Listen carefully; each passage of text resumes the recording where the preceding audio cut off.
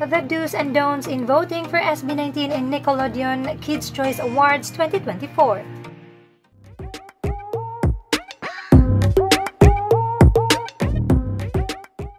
Now, there is no magical formula or strategy in voting for SB19 in their nomination for Nickelodeon Kids' Choice Awards 2024 for the Favorite Asian Act category. Ang pinakakailangan talaga dito ay sipag, consistency at pangmalakasang pangangampanya.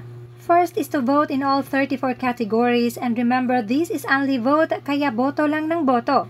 Para naman sa mga fans outside the Asia who can't vote, please don't use VPN para makaboto. Sa halip ay mangampanya sa inyong mga kapamilya, kapatid at kapuso na nasa Pinas para iboto ang SB19. At reminder lang po, please don't ever use the Makabayan card or the Philo card habang nangangampanya lalo na sa mga Pinoy K-pop fans.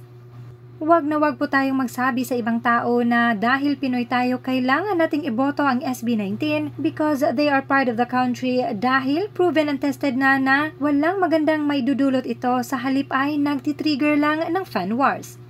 Let people vote who they want to vote, mangampanya pero huwag mamilit.